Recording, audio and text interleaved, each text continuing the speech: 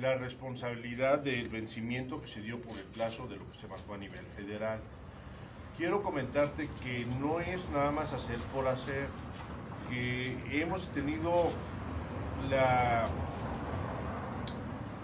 hemos tenido la dificultad de poder encontrar una orientación clara que no existe a nivel federal para poder hacer el tema de las consultas a, las comunidades indígenas, a la gente con discapacidad, sí, que es parte de lo que marca la regla y que lo que marca la ley.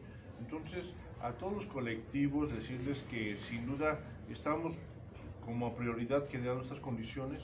Vamos a empezar ya con la ley de educación para el tema de ello. Hemos venido trabajando con mucha fuerza.